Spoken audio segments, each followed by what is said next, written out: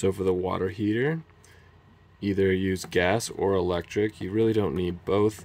Electric's only going to work if you're on shore power or have the generator going. So if you don't have shore power, stick to gas.